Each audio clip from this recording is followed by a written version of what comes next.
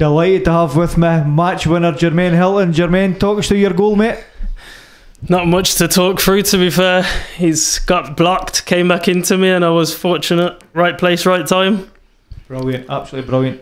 We spoke to you when you just signed the, on the Saturday, on the Friday night. How are you enjoying your time at Arbroath?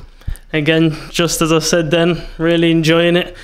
Getting a bit more settled each week that goes by. Still trying to get myself an apartment sorted. Market's crazy at the minute.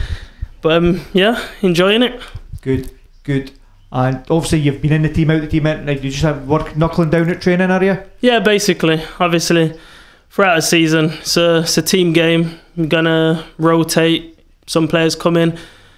Boys did. Uh, boys had a great performance last week, so you can't expect anything to change.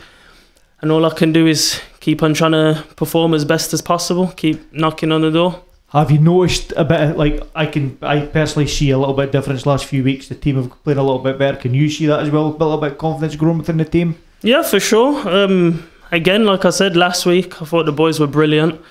Played some good football as well as battled hard, and then we've gone out battled again today. Was a little bit different to last week. I thought we was a bit more polished last week. This week we needed to dig in a bit more, bit more graft. And um, yeah, I thought we did the job we came here to do. And um, six points in two games, can't ask for anything more. I think we'll just wrap it up there, Jermaine. I going to say any better than that myself. Thank you very much for your time and keep putting the ball in the net for the Lichties. Thank you. I'll try. Cheers.